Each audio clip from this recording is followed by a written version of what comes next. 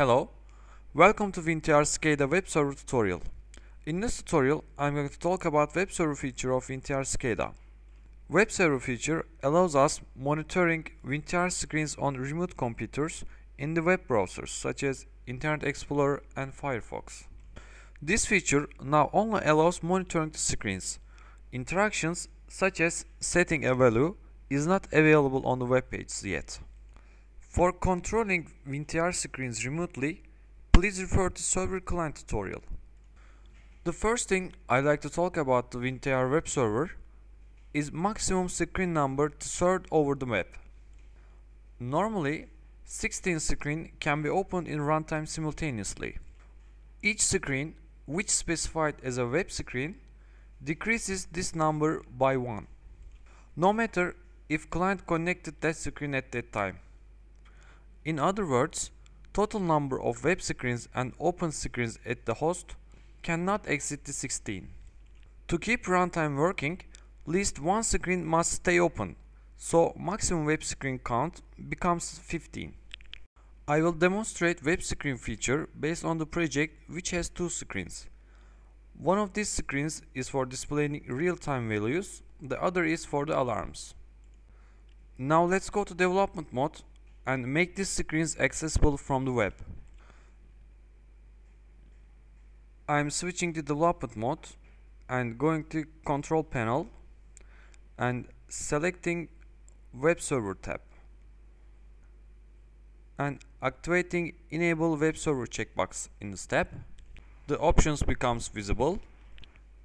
I'm selecting the screens and transferring them to web server screen list these screens will be accessed via WinTR web server's IP address and port number.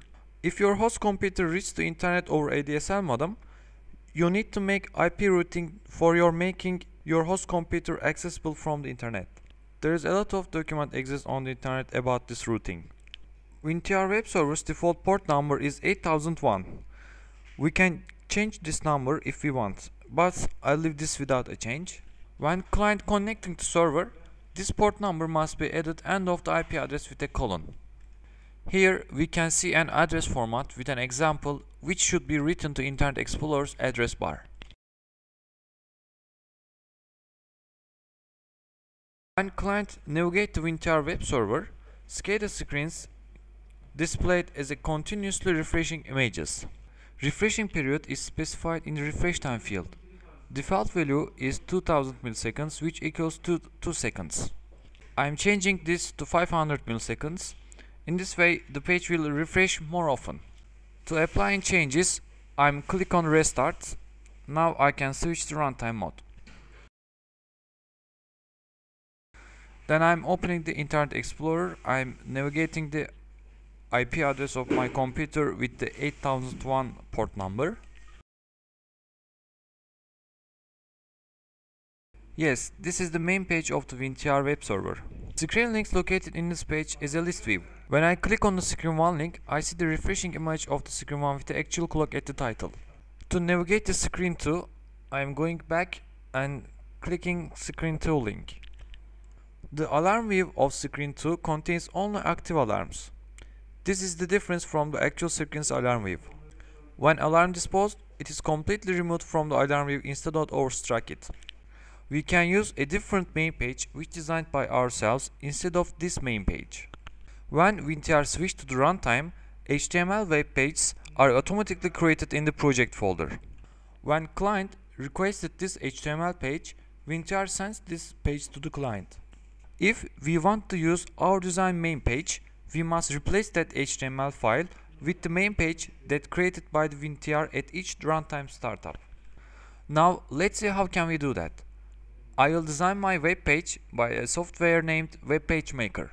I am opening Web Page Maker software by clicking its shortcut on my desktop. The HTML page that I will create will contain a title and a links to the screens. Let's title be Welcome to SCADA Screens.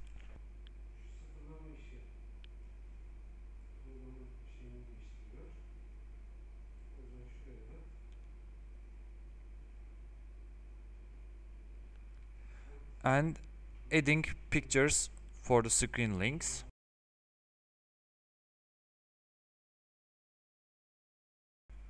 The pictures are created from the word art objects.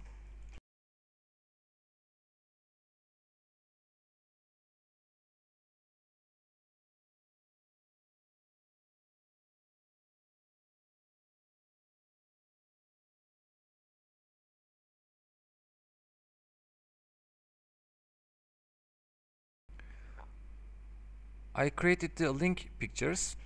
Of course, I need the URLs for these links.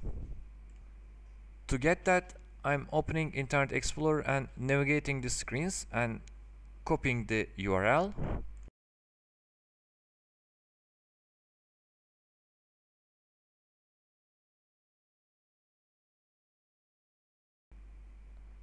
and pasting my links.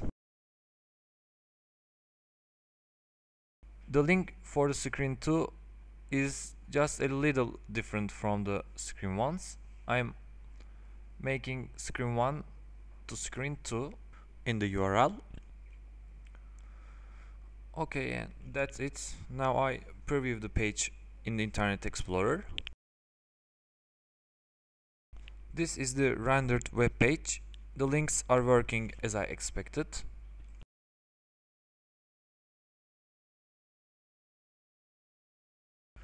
To save this page, I am opening file menu on the Internet Explorer and clicking save as. I am saving the file with a name as index2html. Also I can see here previously mentioned screens web page. After saving, I can close Internet Explorer and web design software. Now I will configure the WinTR for the replacing index2html with the index.html file which will be created by WinTR. I can do this very simple way with the script. I am opening previously written script in the script writer. This script deletes index.html file which created by WinTR. At next line, it copies my index2html file as a index.html in the project folder. WinTR creates web page each runtime startup. So I must set this script as executed in each runtime startup. I am going control panels general setup tab and setting this script as runtime startup script. Now I can switch the runtime again. At runtime startup, script runs at the background and replace my web page as a main page. I am navigating to WinTR web server again with Internet Explorer. This time I get my own design main page. In this tutorial, I try to demonstrate using of WinTR web server and how to use our self-designed web page as a main WinTR web page. Thanks for watching.